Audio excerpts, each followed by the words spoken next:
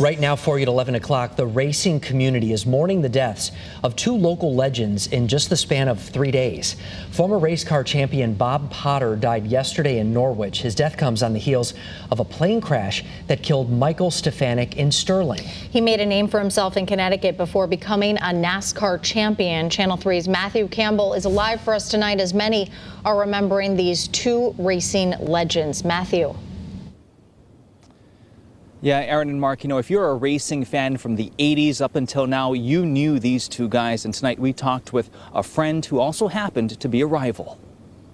At Waterford, it was either him or I going for the wins. Jerry Pearl and Bob Potter burst onto the Connecticut stock car racing scene in the 60s. Mostly ran Waterford, Stafford, Thompson. For decades, they'd tear up the tracks competing for championships until one day they decided to be partners. I drove his backup car. We went to uh, Poconos. Uh, we had a lot of good, good memories together. Potter finished his career with 11 championships. He and Pearl remained friends through retirement. I talked to him on the phone not too long ago, and uh, I, I wanted to get over to see him. I, I just haven't had a chance. Pearl agonizes knowing he'll never get that opportunity again. Police confirm the 78 year old Potter died after having a medical emergency while driving in Norwich on Tuesday. His death was the second in just days for the racing community. 61 year old NASCAR champion Michael Stefanik died when his ultralight plane crashed in Sterling.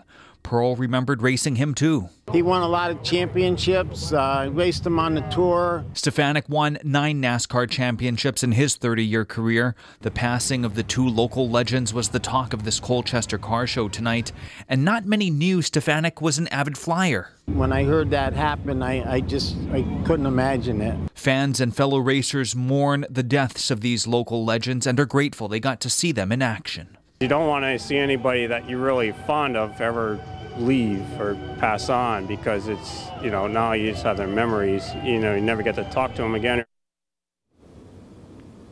Now, Potter is in the New England Auto Racers Hall of Fame. Stefanik is a six time nominee for the NASCAR Hall of Fame. That's the latest live with the Mobile Newsroom. Matthew Campbell, Channel 30 News.